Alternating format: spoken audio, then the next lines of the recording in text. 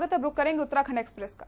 देहरादून में सीएम आवास पर त्रिवेंद्र सिंह रावत ने गेल इंडिया के अधिकारियों ने भेंट की है और हरिद्वार, देहरादून और ऋषिकेश के लिए नेचुरल गैस पाइपलाइन और सिटी गैस डिस्ट्रीब्यूशन प्रोजेक्ट की जानकारी मुख्यमंत्री को दी। इस दौरान मुख्यमंत्री ने कहा कि नेचुरल गैस पाइपलाइन में विस्तार में ध्यान रखा जाए। इससे इन तीनों जिलों के उसके आसपास के गाँवों में पूर्ण रूप से कवर हो जाए। उन्होंने कहा है कि इससे लोगों को रोज़गार सृजन हो सकता है।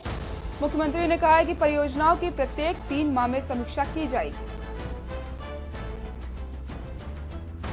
देहरादून में पूर्व प्रधान राजेश शर्मा के घर पर आयोजित भागवत कथा में मुख्यमंत्री त्रिवेंद्र सिंह रावत शामिल हुए, जहाँ सीएम त्रिवेंद्र सिंह रावत ने कहा कि श्रीमद भागवत के उपदेशों से मनुष्य जीवन में वास्तविक दशा एवं कथा निर्धारित हो गई है। जीवन की उलझनों व अनिश्चितताओं से पार पाने में यह हमारा मार्गदर्शक करता है।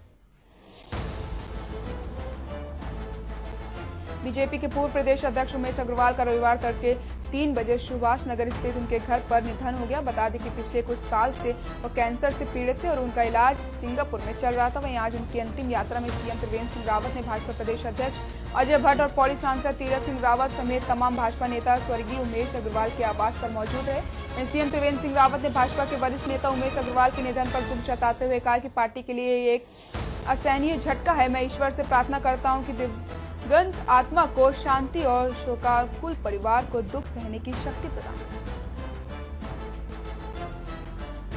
उत्तराखंड सरकार के वरिष्ठ मंत्री प्रकाश पंत के निधन के बाद बीजेपी को एक और बड़ा झटका लगाया देहरादून के पूर्व महानगर अध्यक्ष, खंडूरी सरकार में दर्जा राज्य मंत्री, व्यापारियों के वरिष्ठ नेता उमेश अग्रवाल का निधन से बीजेपी में शोक में लहर में लहर में डूब गई। बीजेपी प्रदेश मीडिया प्रभारी संजीव वर्मा ने अग्रवाल के निधन पर बीजेपी पर, परिवार की ओर से दुख व्यक्त करते हुए उनके द्वारा पार्टी की मजबूती दिलाने के श्रेय को याद किया है। साथ ही दिवंगत नेता के निधन पर उनके परिवार को असहनीय दुख को सहन करने की ईश्वर से प्रार्थना की। रविवार को दिवंगत भाजपा नेता उमेश अग्रवाल की अंतिम यात्रा कलमेन टाउन स्थित उनके आवास से लखी बाग तक निकाली गई और इस दौरान सूबे के मुख्यमंत्री त्रिवेंद्र सिंह रावत सहित प्रदेश के अध्यक्ष और नैनीताल से सांसद अजय भट्ट, सांसद तीरथ सिंह रावत सहित भाजपा के कई विधायक और कांग्रेस के नेता भी दिवगंत उमेश अग्रवाल की अंतिम यात्रा में शामिल रहे। मुख्यमंत्री ने उमेश अग्रवाल के निधन पर दुख व्यक्त किया। पार्टी के लिए नुकसानदय बताया। साथ ही सीएम ने कहा कि अग्रवाल पार्टी के पच्चीस सालों से सक्रिय कार्यकर्ता थे।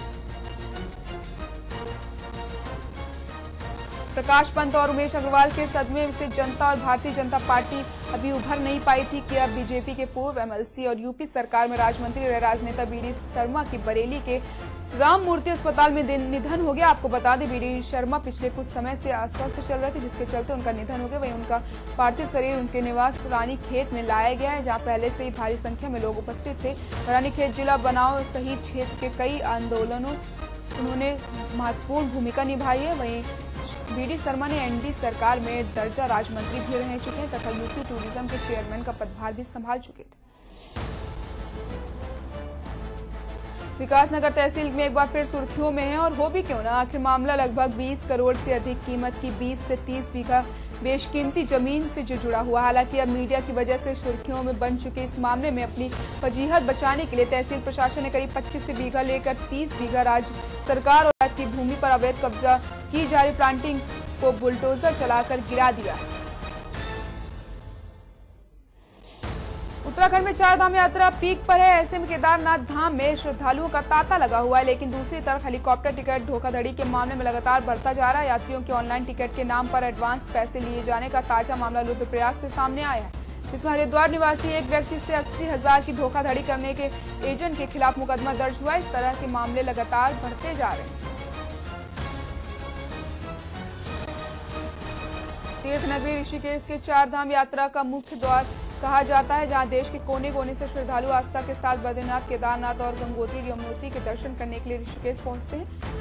और यहीं से शुरू होती है चार धाम यात्रा में तीर्थ नगरी ऋषिकेश के तपोवन क्षेत्र में श्रद्धालुओं की आस्था के साथ खिलवाड़ किया जा रहा है। तीर्थ नगरी में खुलेआम शराब की बिक्री हो रही है। वहीं खुलेआम पार्किंग स्थलों पर शराब बेची जा रही है, जिससे स्थानीय लोगों में भी काफ़ी नाराज़गी जताई गई वहीं मामले में नगर पंचायत मुली क्रिएती थाना क्षेत्र के थाना प्रभारी आर के सकलानी ने बताया कि पार्किंग स्थलों पर शराब का सेवन करने वालों पर कार्रवाई की जाएगी।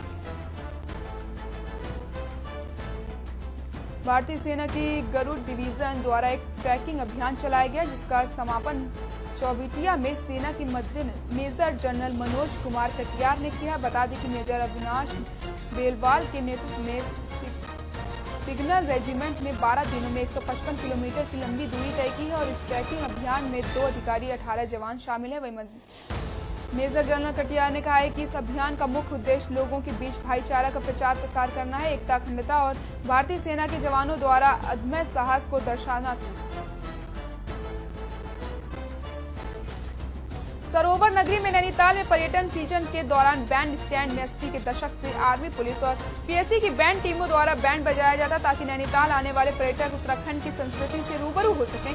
और इसी क्रम में सरोवर नगरी नैनीताल में पर्यटकों को आकर्षित करने के लिए अब पुलिस विभाग ने भी पर्यटक को मनोरंजन के लिए नैनी झील के किनारे बने बैंड स्टैंड में पहाड़ी, गढ़वाली और पुरानी फ़िल्मों की, गीतों की धुन बजाई जा रही, जिसका यहाँ पहुँचे पर्यटक भी जमकर लुप्त उठा रहे हैं। बता दें कि पुलिस बैंड द्वारा पर्यटक के मनोरंजन के लिए रोज़ाना छह बजे से रात आठ बजे तक बैंड का कार्यक्रम आयोजित किया जाता है, ताकि पर्यटक मौसम के साथ बैंड की मधुर धुन को उठा सके।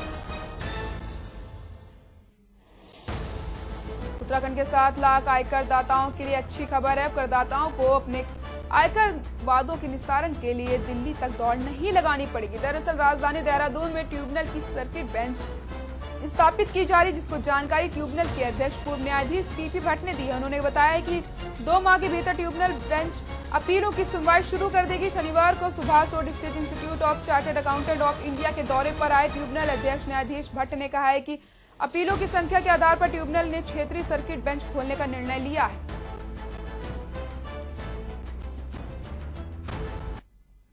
फ़िलहाल न्यूज़ एक्सप्रेस में बस इतना ही देखते रहिए के न्यूज़ इंडिया। नमस्कार।